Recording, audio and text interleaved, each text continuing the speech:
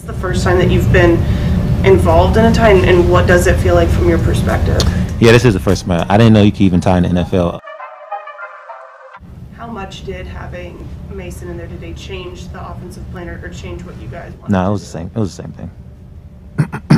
Now, as you on the red zone trip when they when, uh, you guys threw three straight times, it looked like at one point kind of like put your hands out, looking to the sideline. Was that you kind of calling for the ball, or was that you know, miscommunication, trying to figure out what's going on?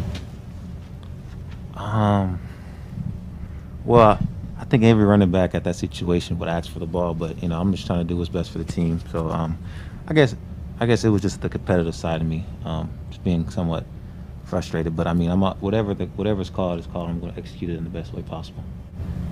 Some of the guys that we've talked to out here said that the tie kind of feels like a loss. Is this the first time that you've been involved in a tie, and, what does it feel like from your perspective?